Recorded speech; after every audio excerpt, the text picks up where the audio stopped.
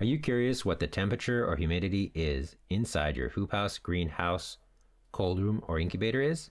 In this video, we will be unboxing and going over some of the basic setup of the Groovy Wi-Fi digital hygrometer thermometer 3-pack with a 2.4 GHz to Bluetooth gateway model H5151 and three H5100 Bluetooth sensors. Inside the package comes the Wi-Fi gateway and three Bluetooth sensors. It also comes with three lanyards, some stickers to mark the sensors with, a manual. To configure the devices, it's pretty straightforward. You have to plug in the Wi-Fi gateway, download and install the Groovy app, which I've already done here. You are required to set up an account. And once the account's set up, you can add devices. It's in home improvement devices. This is, and then the H515. So home improvement, H515. And then you can see that it's flashing there. And then you just click the button. I've already got my Wi-Fi password saved.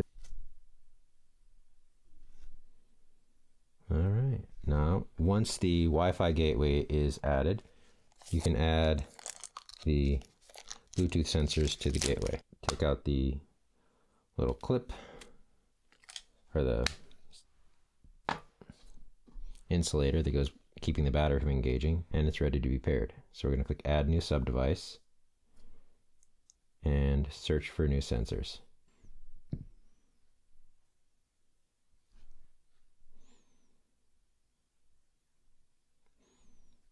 And then we're going to call this 01. And we're going to stick number one sticker on there. So we can tell them apart. All right, that one's done. Next one. And they all pretty much go the same. Pull the tab. Search for new device.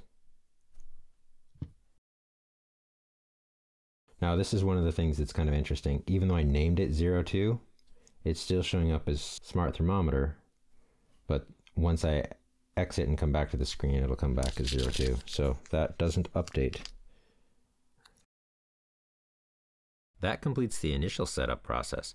If you decide later you want to add another device, from the home screen, click the plus sign, find the device,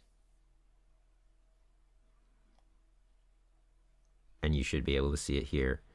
Once the device is added, you can then add it to a wireless gateway by clicking the gateway device in the upper left-hand corner, selecting the gateway, clicking the add new Sub-Device, and then choose from the available devices by clicking the plus sign.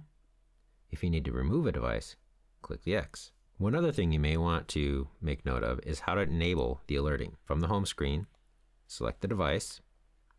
Once on the device, click on the configuration gear in the upper right hand corner. And you can scroll down. Notice the temperature alarm and the relative humidity alarm. You can enable these by clicking on the Alert Me slider. You cannot enable the low and the high temperature alerts separately. And that's it. Hope you enjoyed the video. If you found this video useful, please hit the like and subscribe. If you would like more information on the Groovy wireless thermometers, please check back later as we'll be posting a review once we've had more time with these devices.